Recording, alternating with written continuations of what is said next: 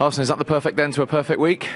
Yes, it was a perfect week for us. We left a lot of energy on Wednesday night and uh, we found the resources again to win today. I think uh, in the first half uh, we were in complete control. In the second half, uh, the legs went a little bit, but we were mature and uh, didn't make big mistakes. And uh, maybe we were lucky in one or two occasions as well on crosses.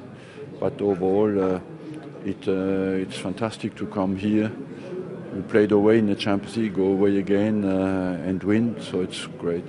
When you've had the week you've had, to go one up inside eight minutes is a is a dream scenario, I guess. Yeah, of course. Uh, what was vital today is a team who is low in confidence, like Villa, not to give them the lead, and uh, that's where we were. What was it was very important for us. 50 goals for Arsenal for Olivier Giroud as well. That's a, a good landmark for him.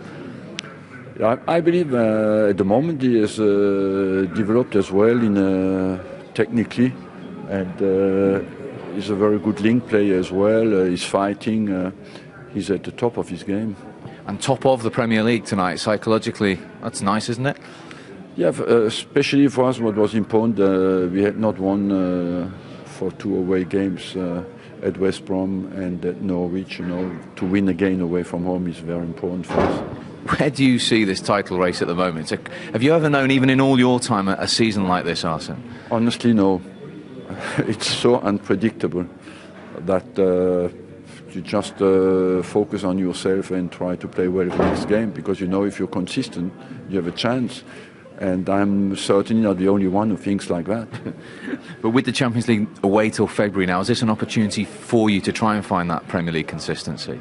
Yes, it is. And uh, what is important uh, as well for us and vital is that uh, we don't lose any players anymore. You know, we lost four players plus all the long-term injuries in two weeks, and uh, we are very short now, and we cannot afford any other injury. That's why it is important uh, that uh, we have now one eight days to prepare Man City.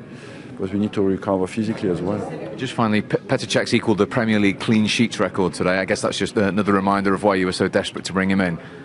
Of course, he's an all-time great in goal, and uh, nobody would dispute that. Uh, the record speaks for him, of course, but uh, we knew that before he beat the record.